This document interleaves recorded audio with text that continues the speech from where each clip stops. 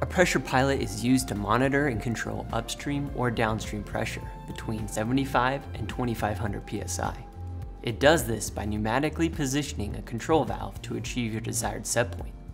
The Kimray bellows controlled pressure pilot is modular, versatile, and easy to use in several applications. Part of its value is that it can act in either direct or indirect mode with a simple modification.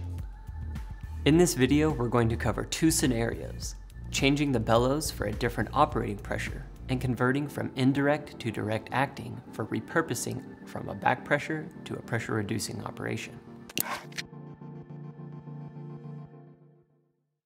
In the bellows controlled pressure pilot, the bellows itself can be changed to better suit your operating conditions. This could be useful if you were previously using a 250 pilot and now needed to control pressure below 200 psi. For this scenario, we're going to be converting a 250 pilot to a 75 pilot, which will then operate from 75 to 750 psi. The same process can be used to convert a 75 pilot to a 250 pilot but you will also need to have a spring ready to install.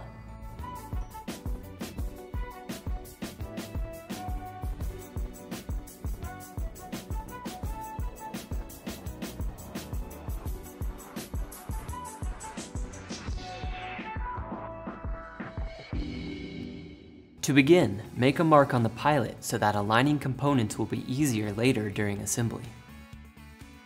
Next, remove the adjustment bolt. The goal is to remove the spring tension. You can either take it all the way out or back it out to the point where you can start unthreading it by hand. With the valve package isolated from all gas sources, disconnect the tubing. Using a 9 16 and 11 16 wrench, remove the bracket bolts and separate the pilot and bracket from the high pressure control valve package. Turn the pilot upside down and secure it in a vise. Use a 9 16 wrench to remove the four screws from the body. Separate the lower housing and the pilot and set them aside. Remove the diaphragm plate from the bonnet. If it's stuck, use a flathead screwdriver to remove it. Remove the spring plate and inner spring from the bonnet.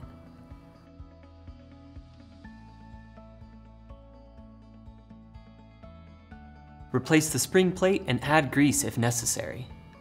Replace the diaphragm plate and pilot, using your markings to make sure it's aligned.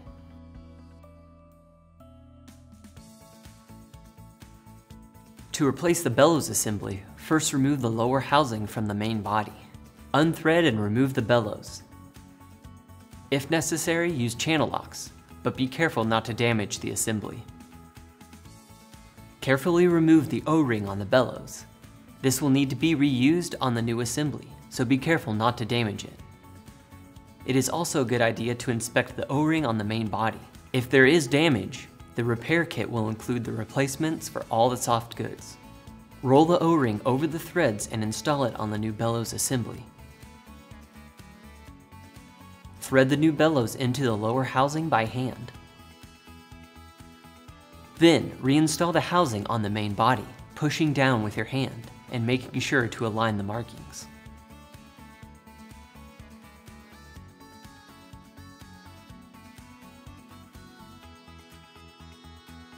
Using your markings, align the bonnet, pilot, housing, and body. The inlet and outlets will be 90 degrees from the vent ports. Replace the screws and bracket and tighten with a crisscross pattern, evenly distributing pressure as you tighten. In this scenario, the pressure range is now between 75 and 750 psi. The original gauge will work for this pressure range, but may be difficult to review accurately. You may want to purchase the appropriate pressure gauge instead. If you were converting this from a 75 to a 250 pilot, you would need to purchase a 2500 psi gauge in order to operate it. Reattach the pilot to the control valve and install your tubing. Another way that the pressure pilot is modular is that it can be configured for indirect or direct acting actuation. The standard setup for a back pressure valve's fail position is fail open, which would mean that the pressure pilot would be indirect acting. When it's in indirect mode, an increase in sense pressure will decrease the output pressure to the valve, while a decrease in sense pressure will increase the output to the valve. In direct acting mode, an increase in sense pressure will increase the output pressure to the valve, while a decrease in sense pressure will decrease the output to the valve. Begin the same way previously shown for changing the bellows assembly. Make a mark on the pilot so that aligning components will be easier later during assembly. Next, remove the adjustment bolt. The goal is to remove the spring tension. You can either take it all the way out or back it out to the point where you can start unthreading it by hand. With the valve package isolated from all gas sources, disconnect the tubing. Using a 9 16 and 11 16 wrench, remove the bracket bolts and separate the pilot and bracket from the high pressure control valve package. Turn the pilot upside down and secure it in a vise. Use a 9 16 wrench to remove the four screws from the body.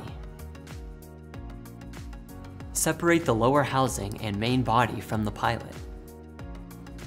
Separate the pilot from the bonnet and set aside. Remove both diaphragm plates if they are stuck, use a flathead screwdriver to remove them. The two diaphragm plates have different inner diameters.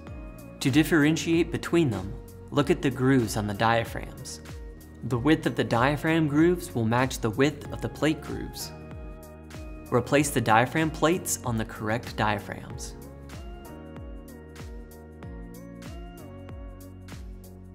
Holding the pilots and plates in place, Flip the unit 180 degrees and place it back on the bonnet. In this instance, we are only changing the action of the pilot, so this is as much as required for disassembly.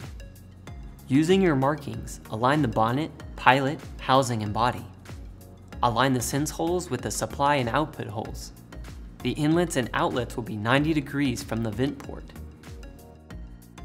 Replace the screws and bracket and tighten with the crisscross pattern, evenly distributing the pressure as you tighten. At this point, the pilot is ready to be attached to the control valve. However, if the pilot action is changing, the valve fail position will also need to be changed. This will affect the tubing connections for the pilot output and the pilot sense line.